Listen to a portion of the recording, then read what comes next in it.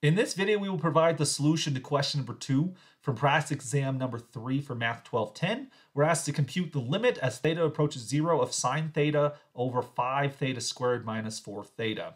So my first inclination is that since everything looks continuous, what just happens if I plug in theta equals zero? Just kind of like test the water a little bit.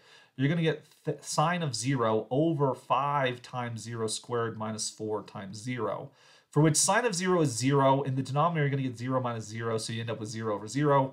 This is an indeterminate form. This does not tell you that the limit doesn't exist. I mean, that could be the case, but we don't have enough information. We have to try something else.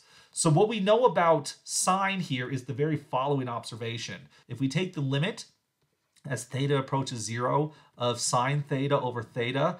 This we've learned from the squeeze theorem is equal to one. So can I somehow make that pop up in this limit somehow? Well, notice that theta is actually a factor of the denominator. If we factor it out, we end up with the limit as theta approaches zero of the denominator. Let's do that one first. We get theta times 5 theta minus 4. This sits above sine of theta. So notice, notice now how we have the sine theta over theta that has now showed up in our limit process.